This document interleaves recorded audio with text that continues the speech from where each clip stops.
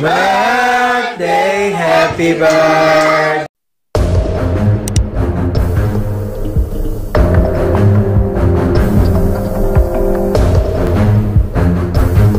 Ini nih, rusak. Anang kasih pelajaran berharga Raul Lemos, tegas tolak ketemu dengan Raul dan Kadi. Asanti ungkap ini hingga Aurel dan Asril Hermansyah akan bertemu dengan ibu kandung mereka Krisdayanti. Rencana pertemuan itu dibongkar oleh Asanti hingga sikap Anang Hermansyah terkait hal itu. Asanti mengaku urusan itu sekarang sudah selesai. Asanti mengatakan ingin suasana damai, tak ada lagi konflik antara ibu dan anak kandung. Asanti pun membongkar jika dirinya dan Krisdayanti juga sudah berkomunikasi, mengatur waktu untuk bertemu. Sebenarnya sudah baikan belum sih Krisdayanti dan anak-anak kandungnya? Aku sudah telepon aja, ketemu. Kok kita udah atur waktunya? Ucap Asanti. Bagi Asanti masalah ini harus bisa beres dan kita kayak harus jalan sama-sama ke depan. Jangan lagi bawa masa lalu. Lebih sama-sama menaruh hati yang besar karena semua manusia punya salah. Ibunya. Hubungan Krisdayanti dengan kedua anaknya, Aurel Hermansyah dan Asdil Hermansyah sempat viral di media sosial. Hal tersebut bermula saat komentar yang ditinggalkan Aurel di kolom Instagram milik Kadih sahabat akrab Krisdayanti. Dalam komentar Aurel sempat menyebut ibunya sulit untuk ditemui dan meluangkan waktu dengan dirinya. Krisdayanti kemudian merespon hal tersebut dirinya mengunggah postingan Instagramnya dengan maksud mengklarifikasinya. Namun situasi itu membuat situasi semakin memanas. Terkait pertemuan tersebut, Asanti ditegur Anang. Lantas bagaimana sikap Anang terkait hal tersebut, terkait pertemuan ini? Menurut Asanti dirinya bersama dengan Anang Hermansyah mengaku tidak terlalu banyak ikut campur masalah tersebut. Harusnya udah beres. Untuk kelanjutannya, aku berharap tinggal mereka dengan anak-anak yang beresin.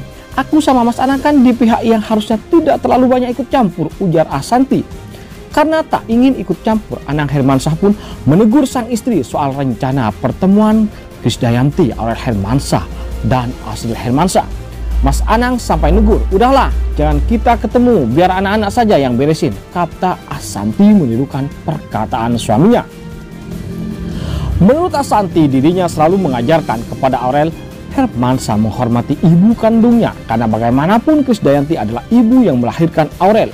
Kita selalu, apalagi Mas Anang yang selalu mengingatkan pada putra-putrinya, itu ibu kamu. Jadi anak-anak pun paham akan hal itu, ujar Asanti. Untuk itu dirinya merasa hal yang terjadi selama ini merupakan salah paham.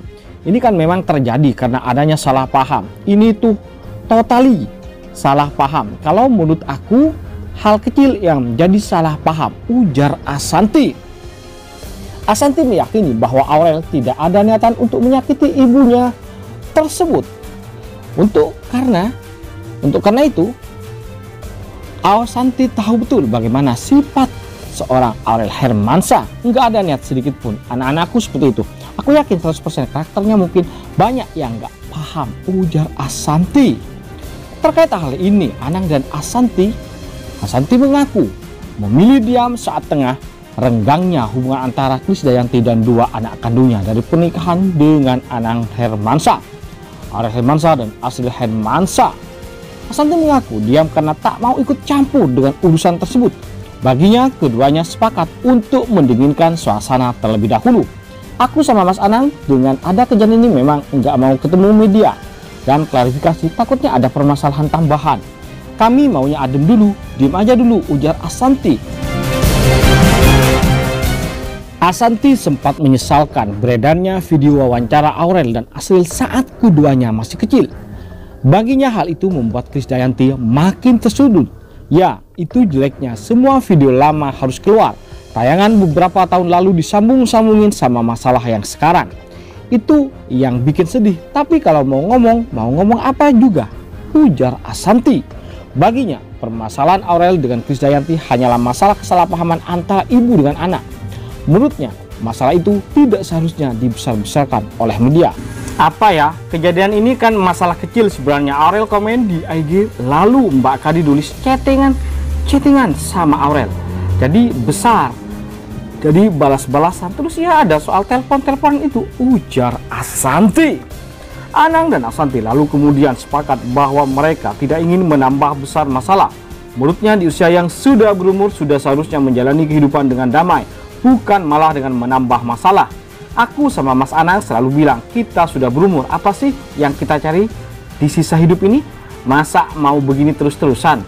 Pengennya semua damai, dan aku tahu mereka juga mau begitu. Maunya sih nanti kalau ada salah paham, ya ditanya dulu, biar enggak bertambah besar. Kalau ini kan dikomporin jadi panas ungkap Asanti. Lalu siapakah guys yang menjadi kompor di sini? Media atau celetukan atau ya nyinyiran seseorang yang itu diduga adalah suami dari gadis sendiri yakni Raul Lemos.